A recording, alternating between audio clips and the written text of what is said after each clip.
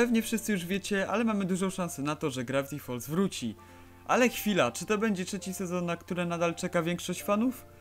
Nie, nie, jeszcze raz nie.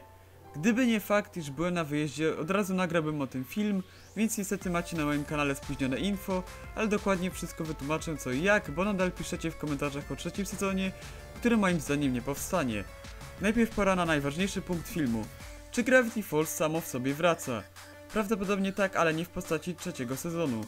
Na D23 Expo, który odbyło się w ten sam dzień, kiedy premiera Battle for Muni, Alex Hirsch ogłosił graficzną nowelę co do grzmotów. Niestety podczas konferencji powiedział o niej bardzo mało, ale na szczęście na jego Twitterze pojawiło się parę postów, które zawierają więcej informacji. Czym będzie graficzna nowela? Z tego co widać możemy wywnioskować, że to długo wyczekiwana kontynuacja komiksowa, o której wspominałem wam w tamtym roku. Najważniejszym tweetem o noweli był ten z wujkiem Stankiem, na którym Alex napisał, że oficjalnie ogłasza graficzną nowelę. Ma ona zawierać nowe historie, więcej niepokojących stworów i oczywiście jakieś mindblowy. Ktoś na Twitterze spytał się go, czemu robi kontynuację komiksową, skoro fabuła jest zakończona i czy akcja będzie się odbywała od razu po Weird Magedonie 3 Take Back the Falls. Alex odpisał, że nie chce na razie zbyt wiele o tym mówić, ale może potwierdzić, że cokolwiek zrobi, będzie to parodią i powinniśmy od razu panikować. Ten post uświadomił mi od razu, że znowu stara się w pewnym stopniu nas oszukać, strollować, czy coś w stylu i trzymać jak najdłużej to w sekrecie. Po prostu najwidoczniej projekt jest w zbyt wczesnych etapach i nie może nam zbyt wiele powiedzieć. Cokolwiek planuje przedstawić nam w noweli, na pewno dobrze przemyślał i rozplanował tak, aby nie zepsuć fabuły. Oczywiście o ile będzie kanoniczna, a tego nie mamy jeszcze potwierdzone. Zostały jeszcze dwa posty, które opublikował na temat powieści graficznej. Jeden z nich potwierdza nam, że tylko czas powie, co się będzie w niej znajdowało. Może mieć nawet 100 stron lub więcej. Ostatni post przedstawia nam trochę więcej o ludziach, którzy uczestniczą w projekcie. Bardzo dobrą wieścią jest to, że pisał ją Alex Hirsch osobiście, więc możemy się spodziewać czegoś wspaniałego. Ilustracje rysowali fajni artyści, których na daną chwilę jeszcze nie znamy. Czytelnikami będziemy oczywiście my, a więcej info pojawi się w przyszłości. To były wszystkie tweety na jej temat. Powieść graficzna zapowiada się genialnie i sam od pierwszego dnia ogłoszenia wyczekuję premiery. No właśnie, a kiedy premiera? Obstawiam wakacje następnego roku i liczę na to, że dobrze przyjmie się przez fanów, bo ja osobiście uwielbiam czytać komiksy, a tym bardziej mangi. Na Wikipedii znalazłem jeszcze ciekawy fakt na temat powieści graficznych.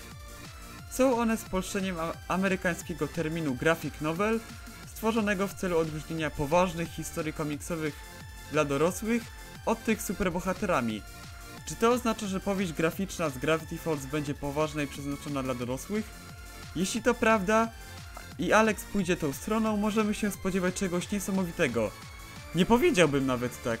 Czegoś zarąbistego, ponieważ według grzmoty małe z poważnym klimatem mogłyby dać nam to, co było w Stranger Things, mimo tego, że będzie do czytania.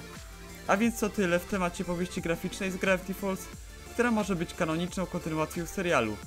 Mam nadzieję, że w tym roku otrzymamy więcej informacji oraz datę premiery. To jeszcze nie koniec dzisiejszego odcinka. Na zakończenie chciałbym powiedzieć, dlaczego uważam, że nie będzie trzeciego sezonu i żeby temat został zamknięty.